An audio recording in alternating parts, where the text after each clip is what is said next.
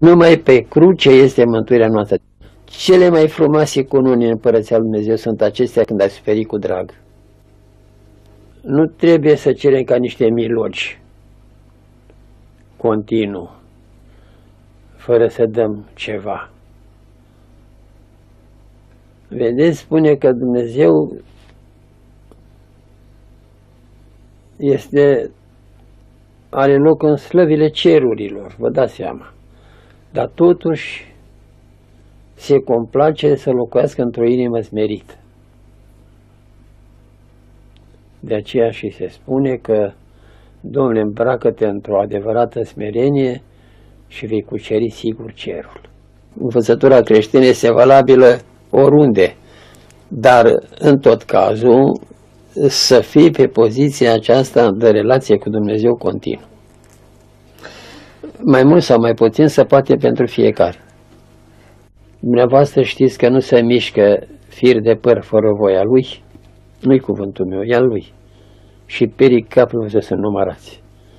Și tot ce întâmpinăm, tot ce ni se întâmplă, se întâmplă ca noi să ne trezim mai mult, să ne formăm mai mult, să înțelegem sensurile cele mai frumoase și mai adevărate ale iubirii, cu orice chip.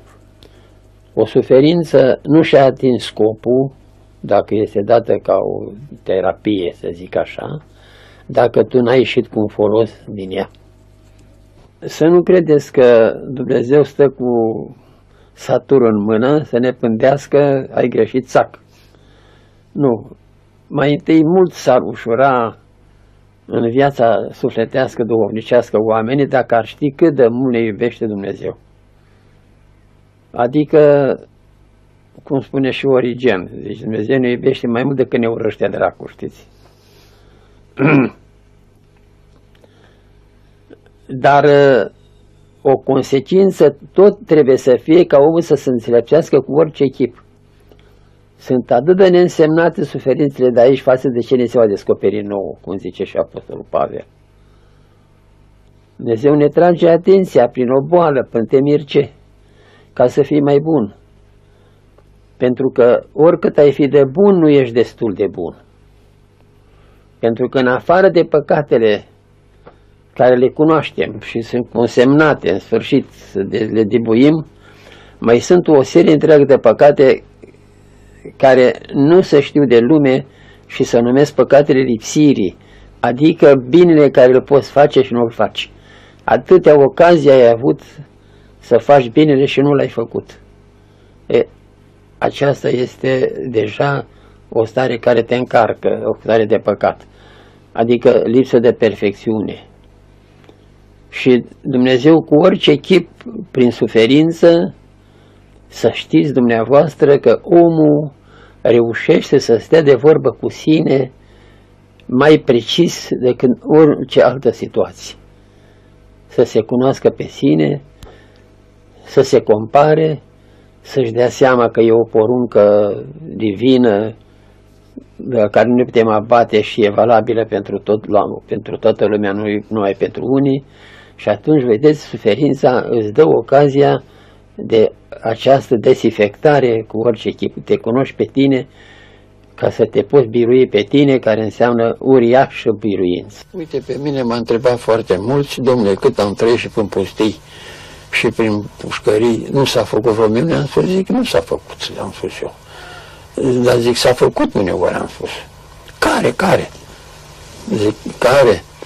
Eu am trăit în frigidere, am trăit ani de zile nemâncat, schelete. Am trăit în pustii când rânjeam lupul la 10 metri și nu rânjește să te muște lupul, să te mănânce. Și toate de ăștia, că n-aveai nicio pare decât cerul. Eu care am priceput glasul pădurii, așa, care e înfrățită cu tine cu orice chip, singurul mijloc de apărare era pădurea. Un glas mut care nu poți să te decât dacă ești într-o mare trăire. Așa, astea nu sunt niște minuni că eu încă trăiesc de atâta suferință, că a fost groaznic. Dar ce vreau să vă spun? Mulțumesc Dumnezeu de suferințele ăștia. O mare binecuvântare mi-a dat Dumnezeu. Vă rog să credeți, am gândit, am fost un băiat de simțire, am făcut și sport, am fost vedetă, pantera albă, pantera blondă, mă nu. gazetele. E, nu m-am folosit ca în suferințele, crucea, suferința. M-a îndemnat spre a, spre a, a mă cunoaște, m-a îndemnat mai mult spre forțele forțelor pentru ca să pot să existi, să văd că Dumnezeu este Cel ce este în fiecare clipă în mișcării noastre sau în mișcării noastre, fie cu aripele, fie cu roatele. Așa.